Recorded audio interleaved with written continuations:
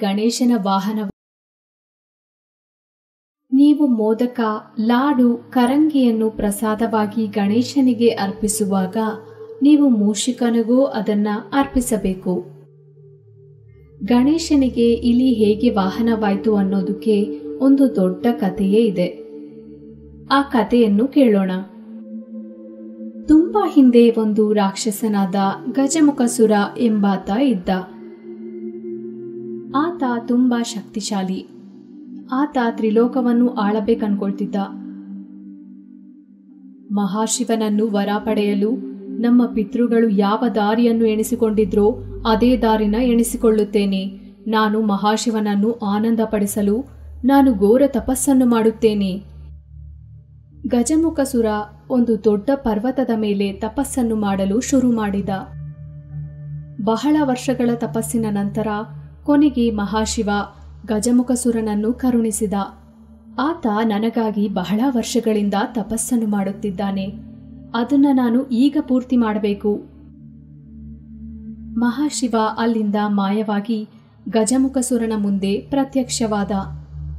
ನಿನ್ನಿಂದ ನಾನು ಬಹಳ ಆನಂದಿಸಿದೆ. ನಾನು ನಿನ್ನ ಕೋರಿಕೆಗಳನ್ನು ಪೂರ್ತಿ ಮಾಡುತ್ತೇನೆ. ಹೇಳು, ನಿನ್ನ ಕೋರಿಕೆ ಏನು ಅಂತ? ಗಜಮುಖಸುರ ಕಣ್ಣು ತೆಗೆದನು. ಆತ ಮಹಾಶಿವನನ್ನು ನೋಡಿ ಆನಂದಿಸಿದನು. ಓ ದೇವ, ನಿನ್ನನ್ನು ದರ್ಶನ ಪಡೆಯಲು ನಾನು ಪುಣ್ಯವಂತ. ನಾನು ಬಿಲ್ಲು ಬಾಣ ಖಡ್ಗ ಮತ್ತು ಗೊಡ್ಡಲಿ ಹಾಗೂ ಯಾವುದೇ ಆಯುಧದಿಂದಲೂ ಸಾಯದೇ ಇರುವ ಹಾಗೆ ಒಂದು ವರ ಕೊಡು. ನಿನ್ನ ಕೋರಿಕೆಯಂತೆ ಆಗಲಿ ಅಂತ ಹೇಳಿ ಮಹಾಶಿವ ಅಲ್ಲಿಂದ ಮಾಯವಾದನು. ಗಜಮುಖಶೂರನಿಗೆ ತುಂಬಾ ಹೆಮ್ಮೆಯಾಗಿತ್ತು. ಈಗ್ಲಿಂದ ನನ್ನ ಯಾರು ಯಾವ ಹಾನಿನೂ ಮಾಡಲು ಸಾಧ್ಯವಿಲ್ಲ ನಾನು ತುಂಬ ಶಕ್ತಿಶಾಲಿ ಆ ದಿನದಿಂದ ಗಜಮುಖಸುರ ತ್ರಿಲೋಕವನ್ನು ತೊಂದರೆ ಮಾಡಲು ಶುರು ಮಾಡಿದ ಪ್ರಜೆಗಳನ್ನು ಹಿಂಸೆ ಮಾಡುವುದು ದೇವತೆಯರನ್ನು ಅವರ ತಪಸ್ಸುಗಳಿಂದ ತೊಂದರೆ ಮಾಡುವುದು ಮತ್ತು ಪ್ರಾಣಿಗಳನ್ನು ಸಹ ಹಿಂಸೆ ಮಾಡ್ತಿದ್ದ ಗಜಮುಖಸುರನಿಂದ ಎಲ್ಲರೂ ತೊಂದರೆ ಪಡ್ತಿದ್ರು. ಒಂದು ದಿನ ಇಂದ್ರದೇವನು ಮಹಾಶಿವನ ಹತ್ರ ಹೋದನು. ಓ ದೇವ, ದಯವಿಟ್ಟು ನಮಗೆ ಸಹಾಯ ಮಾಡಿ. ನೀವೇ ಪ್ರಪಂಚವನ್ನು ಗಜಮುಖಸುರನಿಂದ ಕಾಪಾಡಬೇಕು. ಚಿಂತೆ ಮಾಡಬೇಡಿ. ನಾನು ಗಜಮುಖಸುರನ ಅಂತ್ಯಕ್ಕಾಗಿ ಗಣೇಶನನ್ನು ಕಳಿಸುತ್ತೇನೆ. ಮಹಾಶಿವ ಗಣೇಶನನ್ನು ಕರೆಸುತ್ತಾನೆ. ಪ್ರಣಾಮ ತಂದೆ, ದಯವಿಟ್ಟು ಹೇಳಿ, ನಾನು ಏನು ಮಾಡಬೇಕೆಂದು ಹೇಳಿ? ಗಜಮುಖಸುರನು ಇವರನ್ನು ತುಂಬಾ ತೊಂದರೆ ಮಾಡುತ್ತಿದ್ದಾನೆ. ಆದ್ದರಿಂದ ಇವರಿಗೆ ನೀನೇ ಸಹಾಯ ಮಾಡಬೇಕು. ಇದೆಲ್ಲದಕ್ಕೂ ನೀನೇ ಅಂತ್ಯ ಹೇಳಬೇಕು. ಹೌದು ತಂದೆ, ನನಗೂನು ಗೊತ್ತು. ನಾನು ಸಹ ಗಜಮುಖಸುರನ ಕತೆಗಳ ಬಗ್ಗೆ ಕೇಳಿದ್ದೆ. ನನಗೆ ಇದನ್ನು ಬಿಟ್ಬಿಡಿ. ಇದರ ಬಗ್ಗೆ ನಾನು ನೋಡಿಕೊಳ್ತೇನೆ. ಗಣೇಶ ಕೈಲಾಸವನ್ನು ಬಿಟ್ಟು ಗಜಮುಖಸುರನನ್ನು ಭೇಟಿ ಮಾಡಲು ಹೊರಟ. ಗಣೇಶ ಗಜಮುಖಸುರನ ಮುಂದೆ ಪ್ರತ್ಯಕ್ಷವಾದ. ಇಲ್ಲಿಗೆ ಯಾಕೆ ಬಂದೆ? ಎಲ್ಲರನ್ನೂ ತೊಂದರೆ ಮಾಡುವುದು ನಿಲ್ಲಿಸು. ಅವರು ನೆಮ್ಮದಿಯ ಜೀವನ ನಡೆಸಲಿ. ನಿನ್ನ ಸಲಹೆಗಳು ನನಗ್ ಬೇಕಾಗಿಲ್ಲ. ನೀನು ಹೊರಡಬಹುದು. ಗಣೇಶನಿಗೆ ಕೋಪ ಬಂದು ಗಜಮುಖಸುರನಿಗೆ ಪಾಠ ಕಲಿಸಲು ಮುಂದಾದ. ಗಣೇಶ ಬಾಣವನ್ನು ಬಿಟ್ಟ.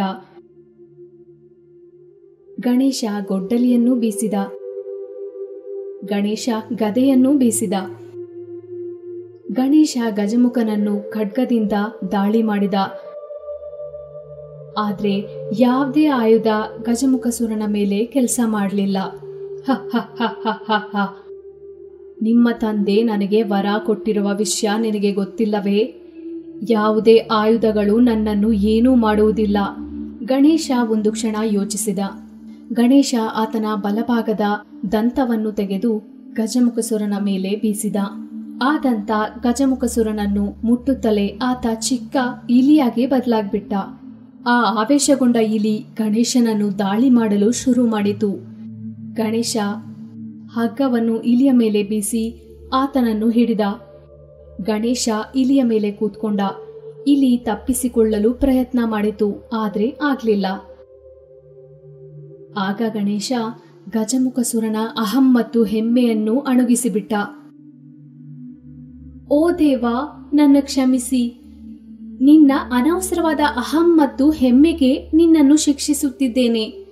ನಾನು ಚೆನ್ನಾಗಿ ಪಾಠ ಕಲಿತೆ ದೇವ, ದಯವಿಟ್ಟು ನನ್ನ ಕ್ಷಮಿಸಿ. ನನ್ನನ್ನು ನಿನ್ನ ವಾಹನದಂತೆ ಸ್ವೀಕರಿಸು. ನಿನ್ನ ಕೋರಿಕೆಯಂತೆ ಆಗಲಿ. ಗಣೇಶ ಆತನನ್ನು ವಾಹನವಾಗಿ ಅಂಗೀಕರಿಸಿದ.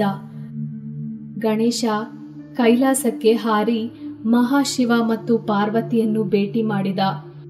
ಇಬ್ಬರು ಗಣೇಶನನ್ನು ಆಶೀರ್ವದಿಸಿದ್ರು. ಆ ದಿನದಿಂದ ಇಲ್ಲಿ ಗಣೇಶನ ವಾಹನವಾಯಿತು. ಗಣೇಶ ಎಲ್ಲಿಗೆ ಹೋದರೂ ವಾಹನವಾದ ಇಲಿಯ ಮೇಲೇನೆ ಪ್ರಯಾಣ ಮಾಡ್ತಿದ್ದ. ಪುಟ್ಟ ಗಣೇಶ ಮತ್ತು ಪಾರ್ವತಿ ದೇವಿ ಒಂದು ದಿನ ಮಹಾಶಿವ ಮತ್ತು ಪಾರ್ವತಿ ದೇವಿ ಅವರ ಹಾಸನದಲ್ಲಿ ಕುಳಿತಿದ್ರು. ಪುಟ್ಟ ಗಣೇಶ ಅವರ ಕಡೆಗೆ ಓಡಿ ಬಂದ್ರು. ಅಮ್ಮ, ನಾನು ನನ್ನ ಸ್ನೇಹಿತರ ಜೊತೆ ಆಟವಾಡುವುದಕ್ಕೆ ಹೋಗ್ತಿದ್ದೇನೆ. ಸರಿ, ಹೋಗಿ ಬಾ. ಆದ್ರೆ ಹುಷಾರು. ಮತ್ತು ಸರಿಯಾದ ಸಮಯಕ್ಕೆ ಮನೆಗೆ ಹಿಂತಿರುಗಿ ಬಂದ್ಬಿಡು. ಸರಿ, ಅಮ್ಮ. ಅಂತ ಹೇಳಿ ಪುಟ್ಟ ಗಣೇಶ ಹೊರಗಡೆ ಆಟವಾಡಲು ಹೋದರು. ಆತನ ವಾಹನ ಮೇಲೆ ಹತ್ತು ಕೂತ್ಕೊಂಡು ಗಣೇಶನ ಸ್ನೇಹಿತನನ್ನು ಭೇಟಿ ಮಾಡಲು ಹೊರಟರು. ಸ್ವಲ್ಪ ಸಮಯದವರೆಗೂ ಪ್ರಯಾಣ ಮಾಡಿ ಅವರು ಗಣೇಶ ಸ್ನೇಹಿತರು ಕಣ್ಣ ಮುಚ್ಚಾಲೆ ಆಡುತ್ತಿದ್ದ ಹಸಿರು ಮೈದಾನಕ್ಕೆ ತಲುಪಿದರು. ಸ್ನೇಹಿತರೇ, ನಾನು ಬಂದ್ಬಿಟ್ಟೆ. ಅರೆ ಗಣೇಶ, ಎಲ್ಲಿದ್ದೆ? ಯಾಕಿಷ್ಟು ಸಮಯ ತಗೊಂಡೆ ಬರೋಕ್ಕೆ? ನಾನು ತುಂಬಾ ಕೆಲಸದಲ್ಲಿದ್ದೆ. ಈಗ ನಾನು ಇಲ್ಲಿದ್ದೀನಿ ಆಟಾಡೋಣ?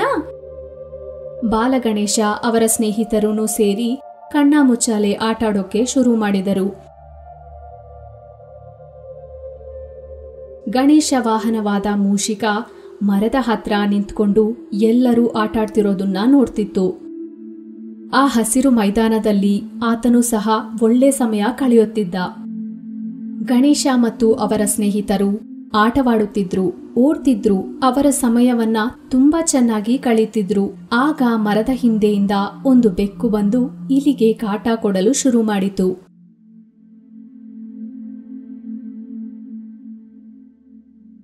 ಹೇ, ಈಗ ನೀನಿಲ್ಲಿ ಒಂಟಿಯಾಗಿ ಸಿಕ್ಕಾಕೊಂಡಿರುವೆ. ನಾನು ನಿನ್ನ ತಿಂದು ಬಿಡ್ತೀನಿ. ಆ ಬೆಕ್ಕು ಇಲಿಯನ್ನು ತನ್ನ ಬಾಲದಿಂದ ಎಳೆಯಲು ಶುರು ಮಾಡಿತು. ಗಣೇಶ, ಕಾಪಾಡು, ನನ್ನ ಕಾಪಾಡು ಗಣೇಶ. ಗಣೇಶ ಆ ಎಲ್ಲವನ್ನು ನೋಡಿ ಇಲಿಯ ಕಡೆಗೆ ಓಡಿದ. ಹೇ, ಬಿಡು ಅವನ್ನ ಅವನು ನನ್ನ ಸ್ನೇಹಿತ. ಆದ್ರೆ ನನಗೆ ಹಸಿವು, ನಾನು ಅವನ್ನ ತಿನ್ಬಿಡ್ತೀನಿ. ಈಗ್ಲೇ ಅವನ್ನ ಬಿಡು, ನನ್ನ ಧಿಕ್ಕರಿಸಲು ನಿಂಗೆಷ್ಟು ಧೈರ್ಯ. ಆ ಬೆಕ್ಕು ಇಲಿನ ಬಿಡೋಕೆ ಸಿದ್ಧವಾಗಿರ್ಲಿಲ್ಲ. ಅದರಿಂದ ಗಣೇಶನಿಗೆ ತುಂಬಾ ಕೋಪ ಬಂದು ಆ ಬೆಕ್ಕಿನ ತಲೆ ಮೇಲೆ ಗಣೇಶ ಬಲವಾಗಿ ಮೋಟುಕಿದ. ಆ ಬೆಕ್ಕು ತಕ್ಷಣ ಇಲಿಯನ್ನು ಬಿಟ್ಬಿಡ್ತು. ಆದರೆ ಗಣೇಶ ಇನ್ನೂ ಕೋಪವಾಗಿದ್ದ. ಆ ಬೆಕ್ಕಿನ ಬಾಲವನ್ನು ಹಿಡಿದುಕೊಂಡು ಗಾಳಿಯಲ್ಲಿ ಹಲವು ಬಾರಿ ತಿರುಗಾಡಿಸಿ ಅದನ್ನ ನೆಲಕ್ಕೆ ಬೀಸಿದ. ಇದರಿಂದ ಬೆಕ್ಕು ಗಾಯಗೊಂಡಿತು. ಅದು ಎದ್ದು ಸುಮ್ಮನೆ ಹೊರಟೋಗುತ್ತೆ. ಧನ್ಯವಾದ ಗಣೇಶ, ನೀನು ನನ್ನ ಪ್ರಾಣ ಕಾಪಾಡಿದೆ. ಅರೆ, ಅದೇನೂ ಇಲ್ಲ. ನೀನು ನನ್ನ ಸ್ನೇಹಿತ. ಬಾ ಮನೆಗೆ ಹೋಗೋಣ. ಗಣೇಶ ಇಲಿಯ ಮೇಲೆ ಕೂತ್ಕೊಂಡು ಅವರು ಮನೆಗೆ ಹೊರಟರು. ಅವರು ಮನೆಗೆ ತಲುಪಿದಾಗ ಪಾರ್ವತಿದೇವಿ ಗಾಯವಾಗಿದ್ದ ಪರಿಸ್ಥಿತಿಯನ್ನು ನೋಡಿ ಗಣೇಶ ಆಶ್ಚರ್ಯಪಟ್ಟ. ಅಮ್ಮ, ಏನಿದು? ಯಾರು ಮಾಡಿದ್ರು? ಏನಾಯ್ತು ನಿಮಗೆ? ನೀನೇ ಮಾಡಿದ್ದು ಗಣೇಶ? ಬಾಲಗಣೇಶ ಅದನ್ನು ಕೇಳಿ ಆಶ್ಚರ್ಯಪಟ್ಟ. ಅಮ್ಮ, ಏನ್ ಹೇಳ್ತಿದ್ದೀರಾ? ನಾನು ಎಲ್ಲ ಜೀವರಾಶಿಗಳಲ್ಲೂ ಇದ್ದೇನೆ. ಯಾರಿಗೆ ಏನೇ ಆದ್ರೂ ಅದು ನನಗೆ ತಾಕುತ್ತದೆ.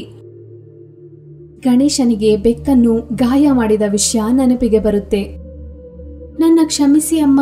ಇನ್ ಮುಂದೆ ನಾನು ಎಲ್ಲಾ ಪ್ರಾಣಿಗಳನ್ನು ತುಂಬಾ ಹುಷಾರಾಗಿ, ಜಾಗ್ರತೆಯಾಗಿ ನೋಡಿಕೊಳ್ತೇನೆ ಎಂದು ಪ್ರಮಾಣ ಮಾಡ್ತಿದ್ದೇನೆ. ನಾನು ಅವುಗಳನ್ನು ಹಿಂಸೆ ಮಾಡುವುದಿಲ್ಲ. ಆಗ ಪಾರ್ವತಿ ದೇವಿ ಗಣೇಶನನ್ನು ಹತ್ರ ತಗೊಂಡು ಅಪ್ಪಿಕೊಂಡ್ಲು ಮಹಾಶಿವ ಪಾರ್ವತಿಯನ್ನು ನೋಡಿ ಮುಗುಳ್ನಗೆ ನಗುತ್ತಾ ಹಾಗೂ ಅವ್ರಿಗೆ ತಿಳಿದು ಬಂತು. ಅದು ಅವರ ಪುತ್ರ ಈ ದಿನ ಹೊಸ ಪಾಠವನ್ನು ಕಲಿತುಕೊಂಡ ಅಂತ. Hi, I'm sure you enjoyed watching this video. Please click on the subscribe button to subscribe to our channel and watch more interesting videos.